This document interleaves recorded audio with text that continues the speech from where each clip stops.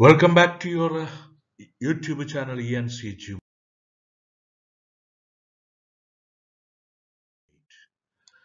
So we have a completed Death to the Leveler by James Shirley, the poem, and we go for analyzing a read and responder questions and answers. Why does the poet think that the glories of our blood and state are shadows? The glories of our blood and state are shadows because they are not substantial or concrete things. They are impermanent. What do scepter and crown and scythe and spade stand for and what do they symbolize? So these scepter and crown and scythe and spade is quite clear in the poem itself. Scepter and crown stand for the royal glory, splendor and power of rulers. Scythe and spade stand for the tools of workers. Scepter and crown symbolizes kings. That means authority. Whereas scythe and spade symbolize common laborers. That means the mass. Why does the poet say that there is no armor against fate? There is no protection against fate. There is no shield against fate. It is the universal truth that death comes to everyone. Nobody can resist it. Nobody can protect him or her against death. Some men with the sword may reap the field. What does this mean? Brave and valiant rulers could attack other lands and occupy them.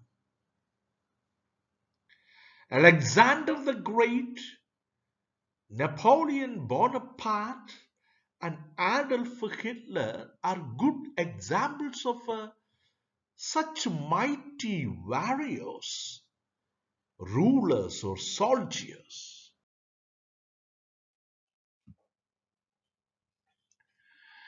What is the fate of the men with the swords who hope to reap the field?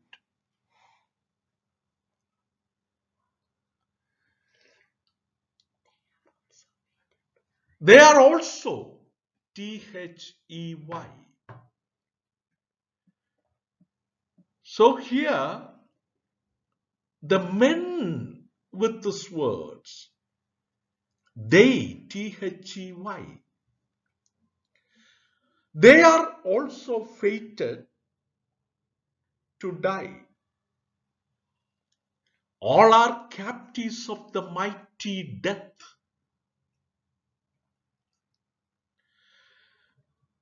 What does death's purple altar refer to?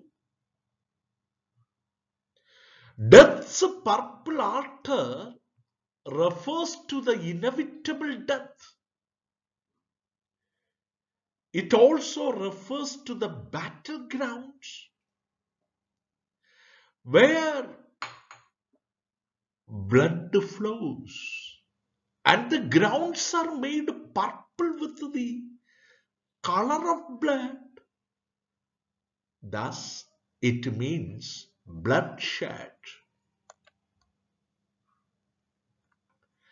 What does the phrase victor and victim mean? Victor victim means the conqueror or the conquered. Conqueror and the conquered. The triumphant and the defeated. The master and the slave. What can survive death? What are things that blossom in dust? Why? The actions of the just people, righteous people, the good deeds of the righteous people can survive death. The good actions blossom in the dust because people will remember them and the fragrance, good smell of the good actions will continue to remain or waft in the air. Why is death called the leveler? Death is called the leveler because death shows no distinction or difference and carries of everybody alike, takes away everyone alike. High and low people, rich and poor people, strong and weak people, reducing them all to dust. Death is an equalizer in whose eyes everybody is equal. It levels everybody to one size, not one size, one size. One size. Equalizer in whose eyes everybody is equal, it levels uh, everybody to one size. Uh, one size. O-N-E. S-I-Z-T. Next.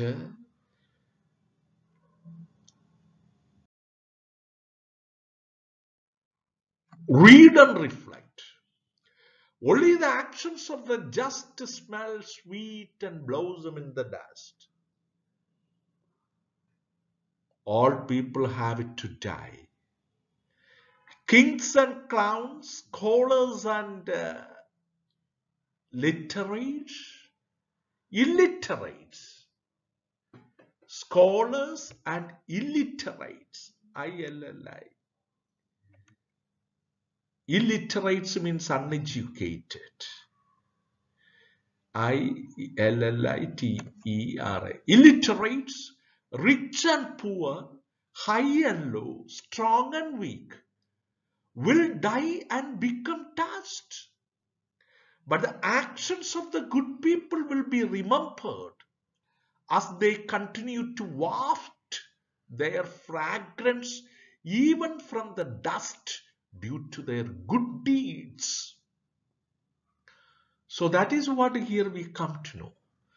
So after our death, our good actions will be remembered and we are going to live in the minds of the people just because of our good deeds.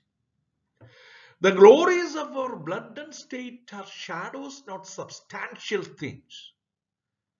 There is no armor against fate.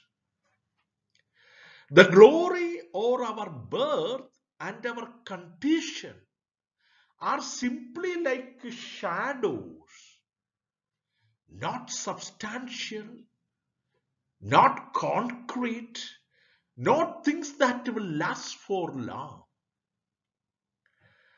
There is no way we can escape from death. Whether we are born high or low, powerful or not, death will come to us and no shield of any kind will protect us from death. So this is what we come to know. Then we will go for the words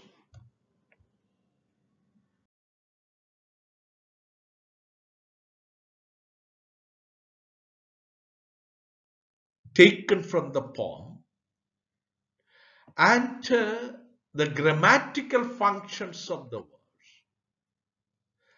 Armor, that is a noun function.